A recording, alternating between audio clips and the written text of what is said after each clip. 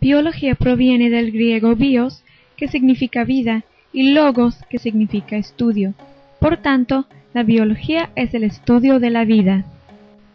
El término fue introducido en Alemania en 1800 por el francés Jean-Baptiste Lamarck, con el fin de reunir en él un número creciente de disciplinas que se referían al estudio de las formas vivas. El filósofo griego Aristóteles fue el más grande naturalista de la antigüedad. Estudió y describió más de 500 especies animales. Además, estableció la primera clasificación de los organismos. La biología en la actualidad tiene como gran aliado a la tecnología. Por medio de ella, los estudios y análisis son más completos y permiten tener una interpretación más rápida y precisa de las investigaciones.